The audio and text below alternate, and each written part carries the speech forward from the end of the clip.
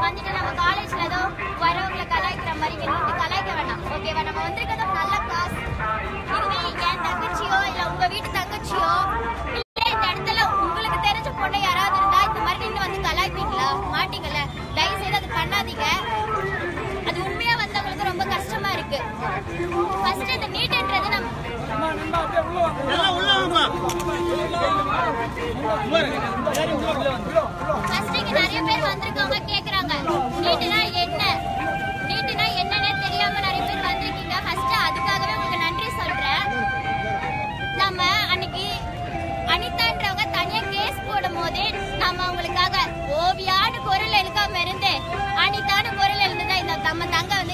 மாட்டாங்க.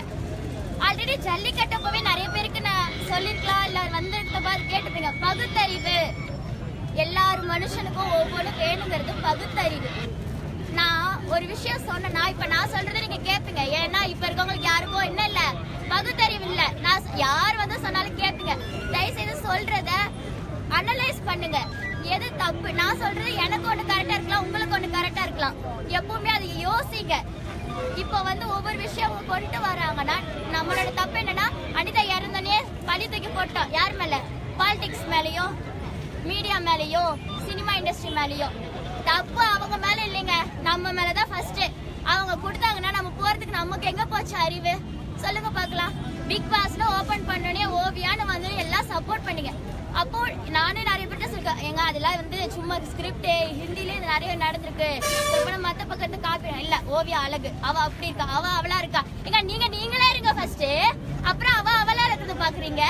சொல்லுங்க பார்க்கலாம் எதுக்கு நீங்க மத்தவங்க ஃபர்ஸ்ட் எனக்கு இன்ஸ்பிரேஷன் ஆகுங்க? ஏன் இங்க வந்ததுக்கு அப்புறம் நிறைய எம்மா ஏம்மா நீ பேசுறது நான் உன்னோட இன்ஸ்பிரேஷன் எடுக்கிறமா என்ன எடுக்கிறதுக்கு உங்களுக்கு என்ன எத்தனை வருஷம் நீங்க எனக்கு தெரியும் உங்களுக்கு? சொல்லுங்க. இல்ல ஓவியம் உங்களுக்கு எத்தனை வருஷம் தெரியும்? அவங்களெல்லாம் இன்ஸ்பயர் இருக்க தயவு செய்து அதை எடுக்காதீங்க. முதல்ல நம்ம எப்படி இருக்கோம்? நம்ம நாடு எங்க? அதெல்லாம் யோசிங்க. நீட்டுன்றது உண்மையாவே அது நல்ல விஷயம் தான் நான் இல்லைன்னு சொல்ல அது யாருக்கு நல்ல விஷயம்? அதர் கண்ட்ரிக்கு ஏன்? நீட்டுன்னா என்னன்னா சைனீஸ் எடுத்துக்கோங்க ஜாப்பனீஸ் அந்த இதுல எடுத்துக்கோங்க எல்லாத்துக்கும் ஒரே சிஸ்டம் தான். அவன் லாங்குவேஜ்ல மட்டும்தான் படிக்கிறான். அதனால தான் சைனா வந்து என்ன மேட் இன் சைனாவா இருக்கு. இந்தியா இல்லைங்க. இந்தியால என்ன சொல்றீங்க? ஒரு இந்தியா ப்ராடக்ட் வாங்கினா லோக்கல் நாமளே இந்தியா ப்ராடக்ட லோக்கல் சொல்லும் போது அவன் அதர் கண்ட்ரி நம்ம என்ன செய்ய இவனுக்கு இருக்கான லோக்கல் அப்படின்னு தான் சொல்லிட்டு மிதிப்பானுங்க. அதனால நம்ம வந்து நீட்டுன்றது